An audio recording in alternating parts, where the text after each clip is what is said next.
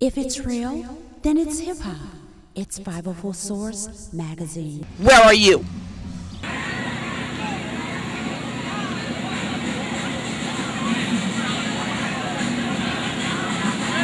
This is Mike B with the 504 Source Magazine.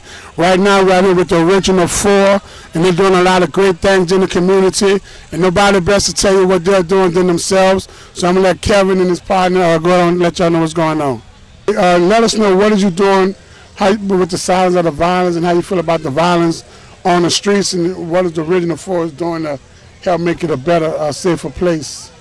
Uh, far as what we're doing, we're trying to reach a lot of uh, youths and stuff, doing stuff like that. Like uh, far as like on the outside of the original four, uh, I deal with youth far as like uh, with AAU basketball, stuff like that, traveling basketball teams.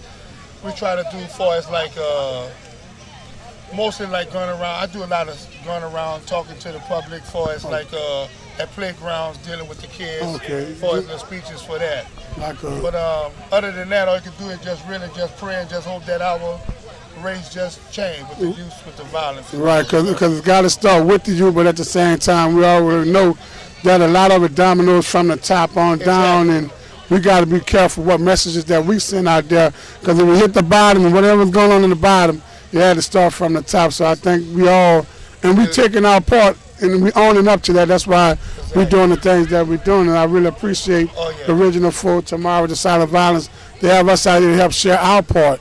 As an urban media, our job is to get it out there to be heard. And believe me, we get almost a million hits a month, so it's going to be seen all the way around the world. You heard me? If Night P&G Entertainment's challenging all the artists in New Orleans, you know what I'm saying, from PNC, Lil X, Chopper, uh, uh, uh, Black House Entertainment, you Mystikal, uh, New Limit, Cash Money. You, know what I'm saying? We, we, we, we, we, we, we, we, out here for the city.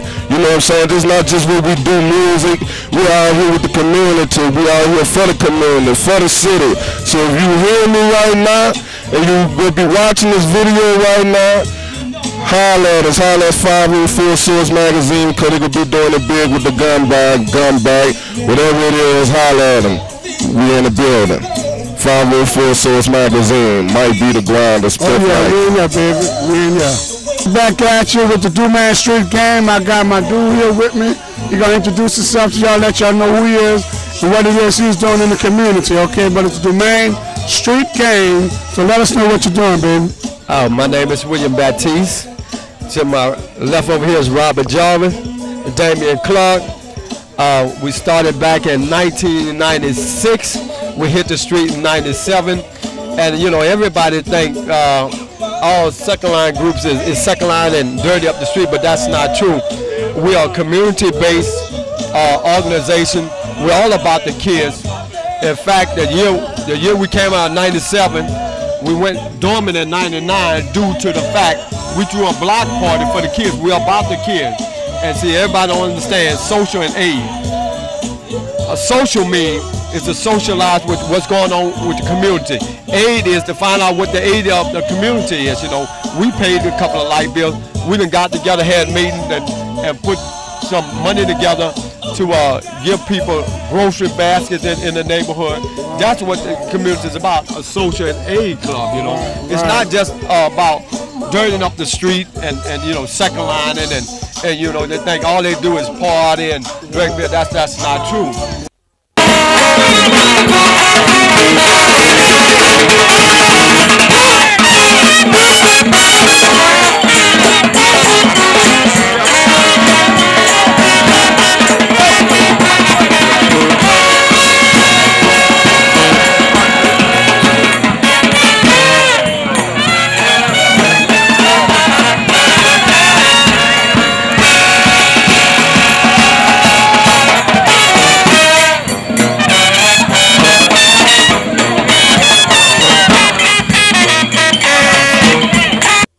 We're back at you. I'm here with Henry.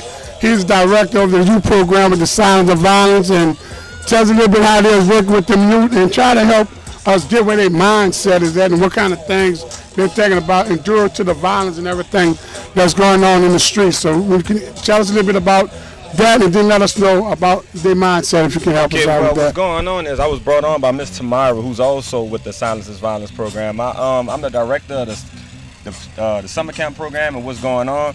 We're gonna have like a Monday to Thursday schedule, where we have a fun day on Thursday, and Monday, Tuesday, and Wednesday we're gonna have these things going on with art.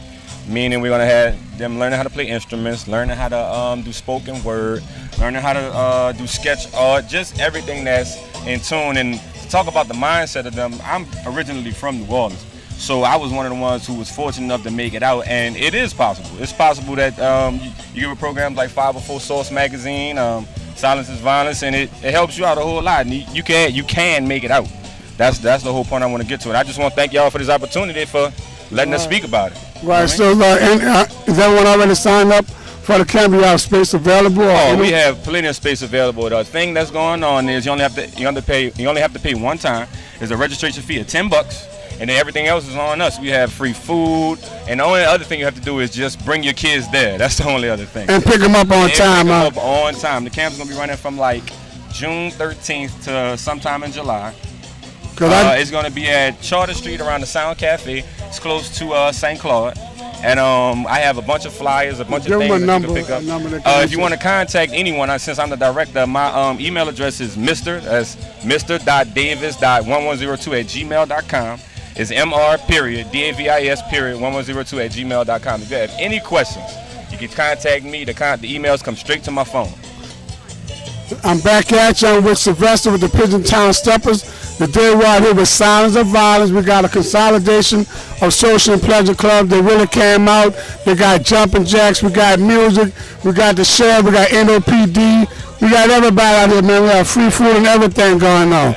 So Sylvester, our, our goal today is to talk about violence and your place and what it is as a group and organization are y'all doing to try to help get some of the violence off the streets as well as your opinion on silence is violence. How you feel about it? Yeah, I think silent violence is a uh, very important movement. You know what I'm saying? The Pigeon Town Stepper thing. So also that's why we uh, we collaborated with the Silence is Violence Second Line Task Force. You know, to try to do our part, and we basically do our part in the community too. From in Pigeon Town, you know, we have uh, crime out marches. You know, we have silent violence marching on our own sometimes. You know, just to try to because we have a lot of murders going back in our area too, all over the city. But you know, when it's happening in your neighborhood, you try to do what you could. You know, so we involved in the community, and we involved with a, uh, another project called uh, the Leander Street. Uh, they trying to start a. Uh, like an after school program for the kids and everything. You know what I'm saying? We're trying to get something involved like that in our neighborhood, you know. Yeah, because as a 504 source, uh, we're doing our part to get things in the community. And my personal mission is to break down that barrier wall of the 9th ward, 10th ward, and 3rd ward. We all are people of New Orleans and of African descent. Right. My hood is your hood. Right. There's nothing goes on in your hood that don't goes on in mine. You come in my hood, you're going to thank you in your own backyard. So let's start treating it like that. We're going to fight for something that we own. And that's ourselves, our pride, and a better future for our youth. I'm not fighting for a award. You know, I'm fighting for a better tomorrow for my kids, man. And we all got to break that. That's my goal. To break down, I mean, I'm proud to say I'm from the land war, but I know if I say I'm from the land war, I'm separating myself from those others who from the third ward and the fifth ward. No, we got to do this as a collective. The struggle that we have struggled to get to where we are struggling will always be a struggle until we begin struggling together. And being from the third ward, fourth ward, fifth ward, just say we're people from New Orleans of African descent. Let's make it happen, baby.